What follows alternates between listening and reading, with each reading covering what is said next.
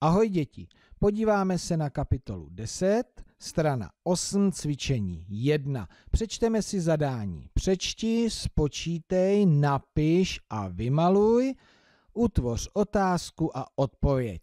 Pustíme se do slovní úlohy a budeme postupovat přesně podle zadání. Začínáme čtením. Olina si kupuje čepici a svetr znázorníme ten nákup, můžeme zrovna vytvořit otázku, kolik korun utratí Olina za čepici a za svetr.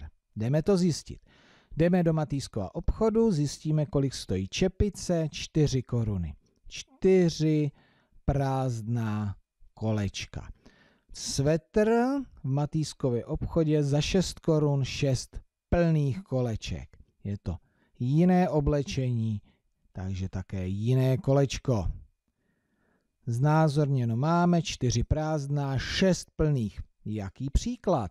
Čtyři plus šest rovná se deset.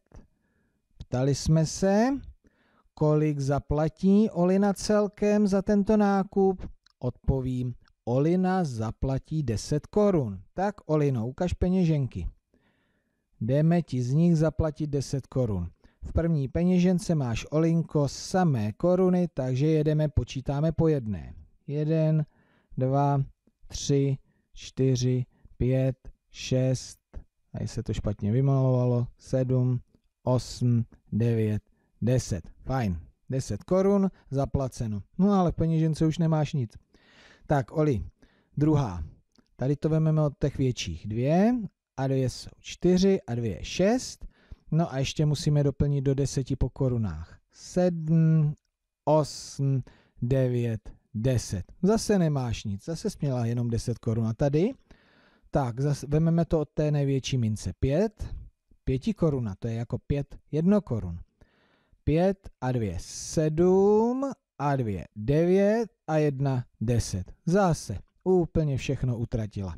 Tak, máme hotovou slovní úlohu a vy se pustíte sami do té další slovní úlohy, takže přečtěte, znázorněte, vypočítejte, nezapomeňte na otázku a odpověď a přesně zaplaťte v peněženkách.